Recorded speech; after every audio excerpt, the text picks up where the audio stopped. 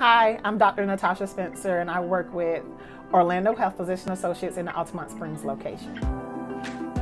One of, one of the things I worry about in um, um, Black and African American individuals is um, high blood pressure or hypertensive disorders of pregnancy. I think there's a higher rate of preeclampsia or hypertensive disorders in pregnancy among African Americans and Hispanics as well. Maybe they're not as, they don't feel as comfortable speaking to their providers and sharing with them what's going on with them because they may be like overlooked or it may be overshadowed by other things or just not prioritized for themselves. I often um, hear that from my patients. Some particularly seek, seek me out for maternal care or pregnancy care because what they have um, told me and what some of their shared experiences that I have with them as well as with myself um, that they feel like they are able to get more um, detailed care or look more thorough care and their concerns addressed more thoroughly when it's someone uh, with a with a, a common background and culture as themselves.